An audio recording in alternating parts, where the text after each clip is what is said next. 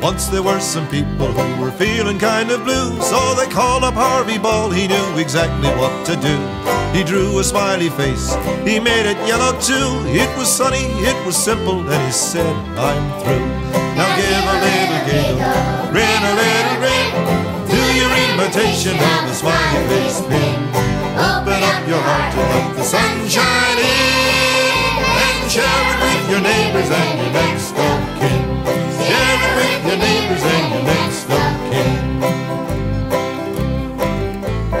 people got excited when they saw what he had done. So they made up smiley buttons and they handed out a ton, which went around the world like the world goes round the sun. For a smile begets another, so there's never just one. So give a little giggle, grin a little grin. Do your imitation of the smiley face pin.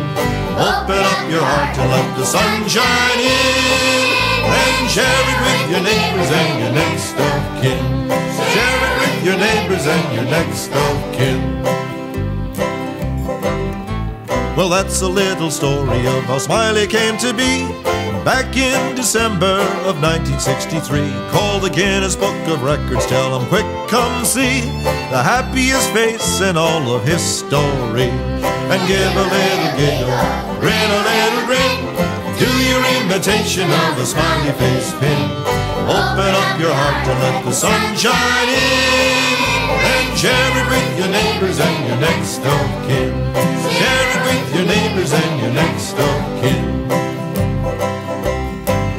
Oh, the moral of the story is to help the world to smile. You do an act of kindness, you go the extra mile. And what you do comes back to you in just a little while. For goodness is contagious and it's never out of style. So give a little giggle, imitation of the smiley face pin. Open up your heart and let the sun shine in. And share it with your neighbors and your next of kin. Give a little giggle, grin a little grin. Do your imitation of the smiley face pin. Open up your heart and let the sun